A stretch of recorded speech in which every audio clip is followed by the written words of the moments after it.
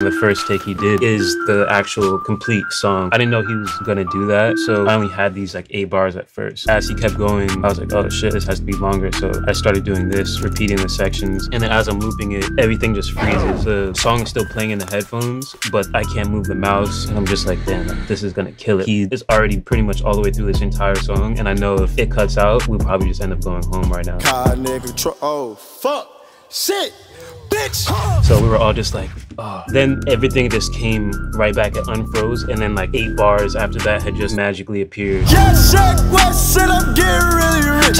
See, I'm good cause I'm really shit.